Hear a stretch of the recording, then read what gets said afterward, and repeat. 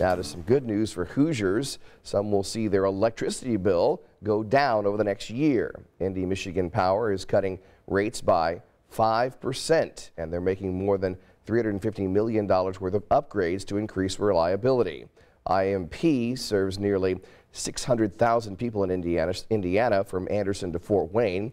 Now, this decrease comes as gas companies are warning people to brace themselves for an increase on their heating bills this winter. CenterPoint Energy says customers will pay about $40 more per month compared to last year. Citizens Energy Group says their customers will see a $10 increase.